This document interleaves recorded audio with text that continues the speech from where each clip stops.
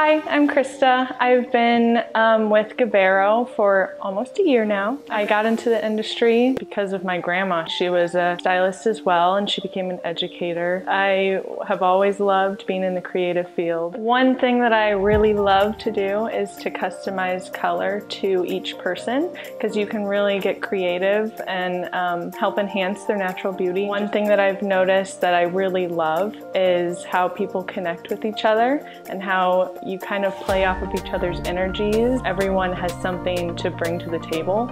So I've definitely grown as a stylist and a person. You just graduated school, I definitely recommend looking for a salon that encourages creativity and pushes you and motivates you to be better. I feel like I'm constantly growing. Hi, I'm Krysta and I invite you to come visit me and